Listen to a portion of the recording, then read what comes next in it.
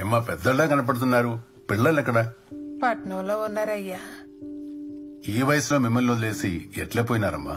ఇందులో వాళ్ళ తప్పేం లేదయ్యా. వాళ్ళు కావాలని మమ్మల్ని ఇడిచిపెట్టుకోలేదు పట్టుకుటి కోసం పోయిండ్రు.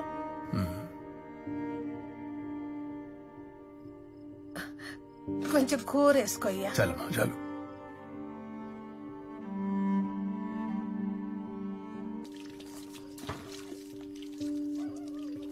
భోజనం చాలా బాగుందమ్మా. ఇది తీసుకోమ్మా. నాకెందుకయ్యా? ఈ నెల పెన్షన్ అనుకొని అందరూ తీసుకున్నాం నాకేమొద్దయ్యా? నువ్వు చాలా దూరం పోతున్నావు. నీకేదన్నా అవసరం పడుతుంది నీ తానే ఉంచుకో. మా ప్రభుత్వం అధికారంలోకి వస్తే నీకేం కావాలో చెప్పు.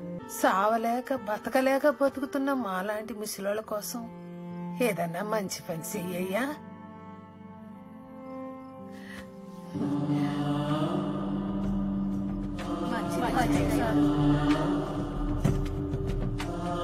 ఈ బాధల పల్లాక వేసేదాన్ని దారిలో వెళ్ళాక ఒక్కసారి బీజేసి పడిపోయాను దారిలో.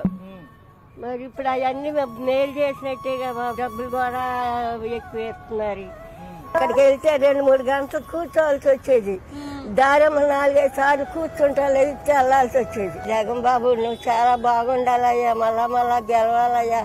మాలాంటి బీదలకి కాపాడాలయ్యా. అంతే బాబు. నాకు ఎవరు లేరు. పక్షవాతం వచ్చిందండి. ఈ డబ్బులు రెండు నెలలకి రెండు వేలు మందులు వేసుకుంటున్నా కానీ చచ్చేదాకా వేసుకోవాలన్నారు ఆఖరికి ఏమైనా మిగిలితే మోసపోయి వాళ్ళకి సరిపోతుంది కూడా చాలండి నాకు. ఈ కడుపు నిండా తింటున్నాం. కంటి నిండా నిద్రపోతున్నాం.